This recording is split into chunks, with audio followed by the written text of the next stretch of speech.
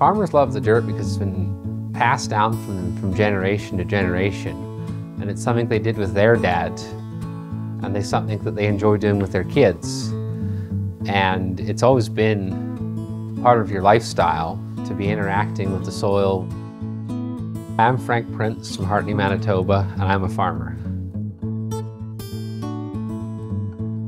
My name is Steve Crittenden. I'm a scientist with Agriculture and Agri-Food Canada in Brandon, Manitoba. My program is Soil Health and Nutrient Management. So mostly what I work on is trying to understand how we can manage our soils to improve crop productivity and better our environmental sustainability. Most of our food is grown in soil, so it's essential for uh, human nutrition, you know. Um, but uh, I think one of the fascinating things about soil is that yes, we need to manage our soil for our crop productivity, but it also plays a role in a lot of other ecosystem services, as in benefits that we can get from soil, whether that's dulling the edge of climate stresses um, or um, protecting our water quality. So it plays quite a key role. Soil health is uh, the interaction of everything going on in soil. It's, it's those chemical, biological, and physical properties of soil sort of all interacting all at the same time. My name is Matthew Bakker.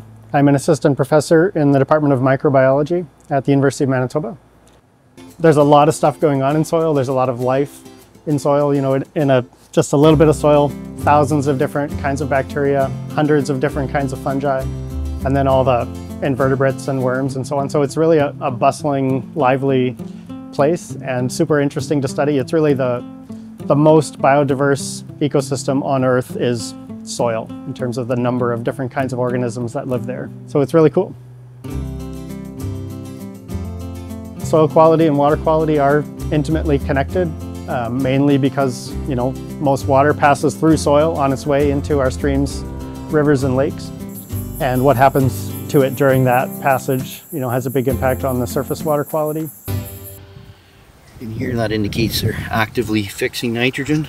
So pulses in soybeans help us reduce our greenhouse gas emissions by not having to apply as much or any nitrogen to the crops as they fix it all themselves so they recruit these bacteria, special bacteria that have certain enzymes out of the soil. They create a home for them by modifying their root structure, allowing those bacteria to live inside their roots in the nodules or these, these bumpy kind of growths. The bacteria are able to take a form of nitrogen that's all around us in the air, but that we and, and most organisms cannot use. If you go back in time to the dirty 30s when they plowed everything and it got dry, and their soil all blew away and it took many years to regain the soil structure after that. The whole world has become smarter and so have farmers with how they interact with the soil. Soil is a massive carbon sink. There is an incredible amount of carbon in soil and that plays a role in climate change.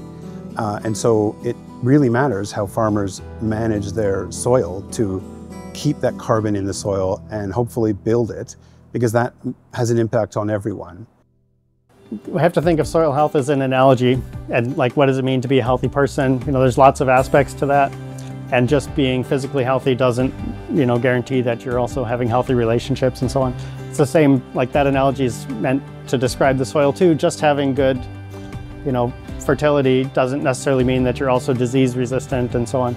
So it's not a, it's not a panacea. It's not something that we can easily like manage simultaneously for every aspect of soil health, but it's, it's the idea that there are functions that we can benefit from if we manage our soil in a way that, that will foster those functions. There'll be payback for us as farmers too. You can apply uh, cutting edge science to solutions that farmers are going to use uh, on a practical level. And that, that's, I think, was really, really exciting to be able to do something um, use the scientific method and apply it to uh, crop productivity and environmental sustainability all at the same time.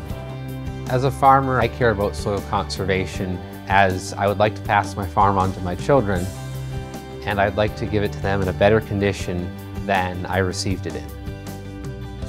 We're very proud of the work we do here on the farm. We are always trying to improve our practices and increase our soil health, which results in higher yields and better quality of crop for the end user.